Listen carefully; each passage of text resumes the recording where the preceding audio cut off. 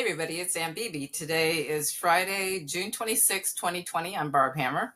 So today I want to talk about another uh, YouTuber who uh, talks about China. That's his big topic is China. I talk about talk about different things, um, but China has been a big focus of mine since last year. But I don't talk exclusively about China. Anyway, Nathan Rich. I want to talk about Nathan Rich. So he's a pretty high profile um, YouTuber, uh, and his focus is China. He is actually on platforms inside China, Bilibili um, and Weibo. But the thing about Nathan Rich is he's kind of missing in action. So he's kind of disappeared from social media since uh, May 12th. I think actually May 21st was the last time I saw anything from him. Yeah, May 21st here. This is his Twitter page. So his last post was about his video um, that the new face of COVID 19 was France. More disinformation. Yeah, that's the thing. So May 21st was the last time. This was some reply. I don't know what this is about. It says, You don't buy a damn, I don't give a damn. I don't know what that was about anyway, so he's mysteriously missing. Um, supposedly a big uh, social media figure with a big channel, almost uh, half million.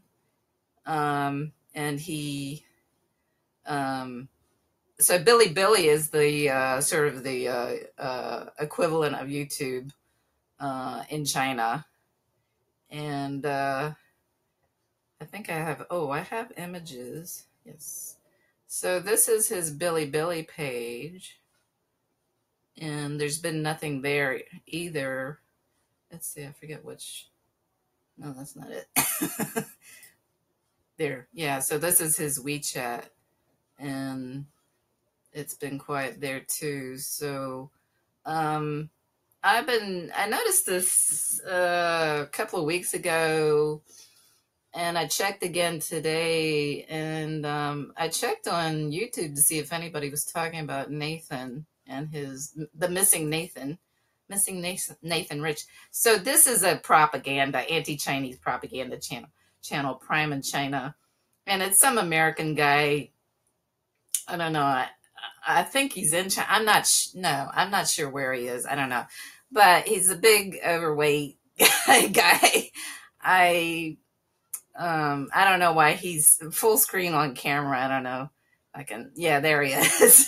if you can see. So I don't know he does that full screen on camera. I don't do that. I don't force people to look at my ugly mug uh, like that. Anyway, so he did this video. He says Nathan Rich is jailed in communist China. Communist China, yeah. Um, so he's he's claiming that Nathan has gotten in trouble with uh, Chinese authorities and has gone missing or disappeared, and that's always code for and the for the propaganda. That's code for arrested, but I don't think that's what's going on. Uh, but this guy, I have watched his videos before, so he will talk about Nathan Rich. Actually, has kind of a uh, checkered past. Um, where's that? No, that's not it. Hang on this is it. So this is a propaganda outlet, but this does talk about he does have a, a, a serious criminal record. Um, his background, uh, he has a Wikipedia page, um, but I think somebody said that he actually created this. So he, um, uh, he's not some you know, nobody independent YouTuber that's appeared on the scene. And his channel is kind of like Daniel Dumbrill's. It kind of uh, came out of nowhere, I don't know, a year or two ago and just took off, you know, which is not natural. It just means that someone's being promoted aggressively.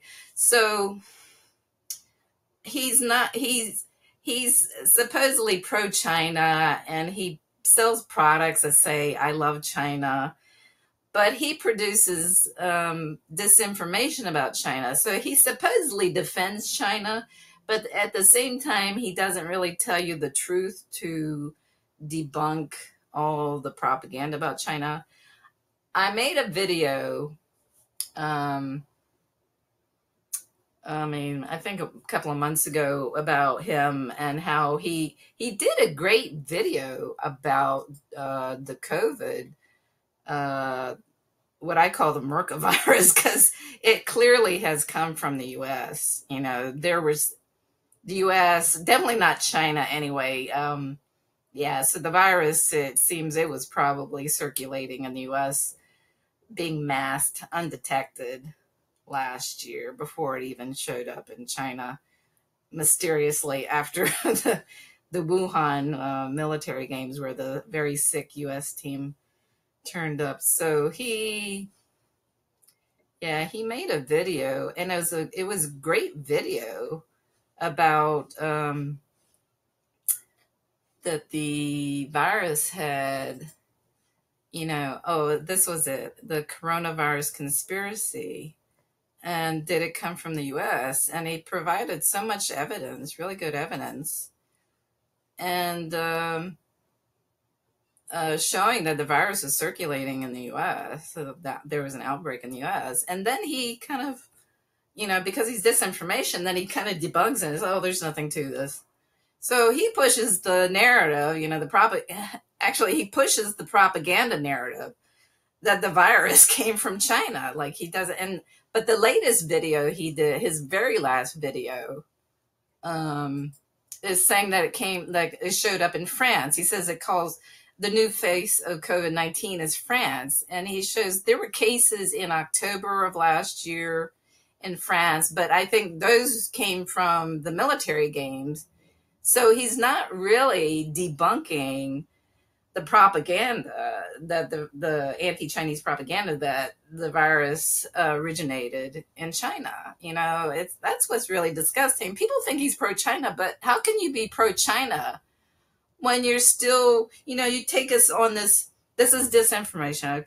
I've explained this before. Disinformation is they give you a lot of truth these figures give you a lot of truth or they take you on this journey. So like in his video about how the virus is circulating in the US, he takes you on this journey and he shows you all the evidence that shows um, that the virus was circulating in the US last year. And then he comes back to the official narrative. Like, you know, that's the thing. I don't go after the straight propagandists. There are all these different disinformation assets that do that. So, um, what I go after is the disinformation where people are giving you some truth, but then they go back to the official narrative and they're not really telling you, explaining the real issues behind a lot of the propaganda against China. You know, they don't talk about the system, they'll talk about Daniel Dumbrill, they'll talk about racism, racism. They'll talk about racism, um, but not about um, the systemic issues, you know, the, the West wants to neoliberalize China, and it almost succeeded in the 1980s. That's a thing, and it could happen again. So this is the danger. It's not about race. There is racism.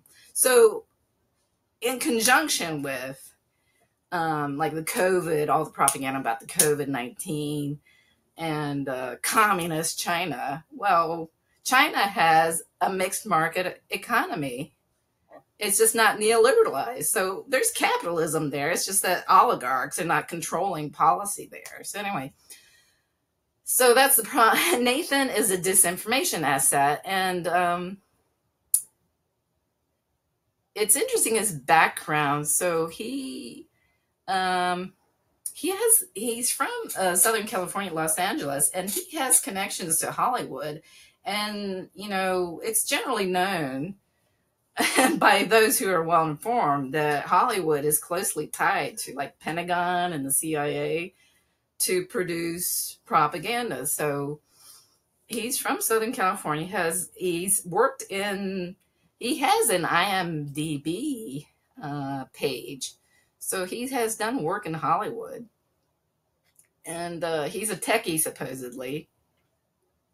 But in his background, so his mother was Jewish, but I think she got mixed up in the um, Scientology cult. It's a cult. And um, and then she sent him off to um, uh, Scientology uh, boarding school or ranch or something. Yeah, ranch school. And he suffered terrible abuse there. And so uh, he had to deal with that. And um, he got mixed up in drugs and he was a street kid. And that's what this article. And so he ended up with a serious criminal record, you know, with drugs and everything. Um, yeah, that's Nathan. Anyway, so and uh, he's always got dark dark circles under his eyes in his videos, and I think he suffers from depression. He probably struggles with a lot of this stuff, um, but it's kind of interesting how he has this background in Hollywood and then in Scientology, and he left Scientology, and I think he's estranged from his family. Um, but he shows up in China, and um, supposedly living in China, but um, this guy uh, claims that he um, claims that I think he said before that Nathan doesn't actually have like a permanent uh, status in China. That he, I don't know, I don't know that he even has a work visa. Supposedly works in tech, but um, this guy says that he. Uh, yeah, that's him. I don't really, anyway, I don't remember his name. Um, he says that uh, Nathan, uh, li- he lives in China, stays in China on a tourist visa, and so that means that he has to leave every three months and like re-enter the country. So he and his girlfriend, um, so he shows his so his girlfriend, he and his girlfriend um, his girlfriend. I've got Nathan's website. Uh, yeah, he doesn't. Uh, this loads. Yeah, that's his girlfriend, Serena. So he and his girlfriend, they leave China, and they, you know, they'll they'll go to a neighboring country. Um, and then they have to re-enter China. I don't know if she's Chinese or she, I mean she's Asian. Um, and this is oh this is his website. So, um, yeah, he's fairly high profile. He's been whoops, that's not it. Sorry.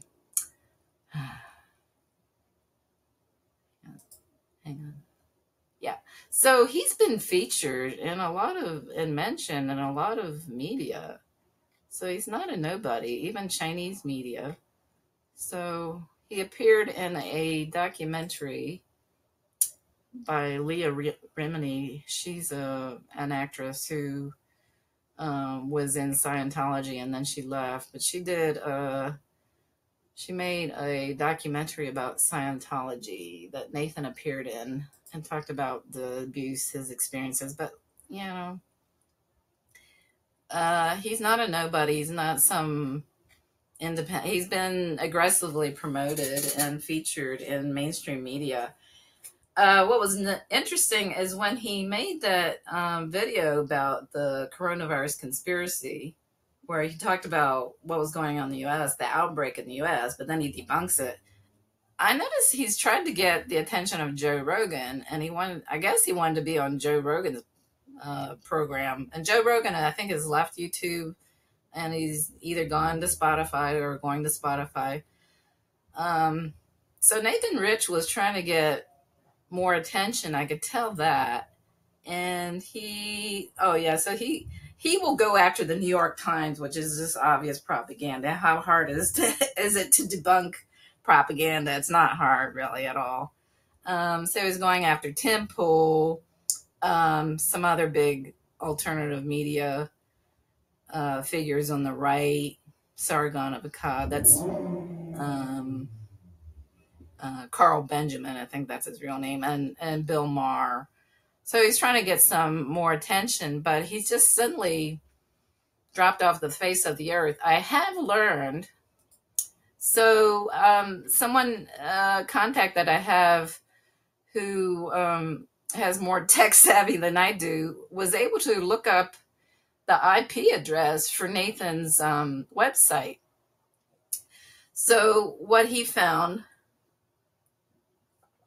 was that Nathan's website, the IP address is in Oregon now. So, I think, I don't think Nathan, this guy thinks Nathan has been arrested in China because of his criminal background. I don't think that's what happened. I think I think Nathan is back in the US now. That's what I think. And I think I don't know why he left. He's left for some reason. Could be he's burned out. The guy could be I mean, I could see that. Um maybe he's burned out. I'm going to call Nathan. He's a limited hangout. He's a limited hangout because a lot of disinformation figures that's what they are they give you some truth and then you know they take you back to the official narrative i don't know i think he's kind of burned out i don't know i mean i can kind of get that it's kind of hard putting out content. Um, i don't do it for money. I will never monetize my channel. I don't have a thousand subs but i would never do that on youtube. Yeah i'm not doing this for money. So it's very strange that nathan nathan has disappeared. And um, this is his uh, Patreon page. So I think you know between the merchandise and I don't know if he's got PayPal. Um, so the minimum you can donate is six dollars a month, and he's got 410 Patreon patrons on Patreon. So you do the math. That's um, that's over two thousand dollars a month and some of those might be even you know the $12 or $25 a month so um i think he was probably doing all right he had hired i think he was I, I had noticed on his website that he he was looking to hire some help or something so his girlfriend helps him out um i don't know it's a lot of work you know he he puts out pretty professional looking videos and he has Chinese subtitles.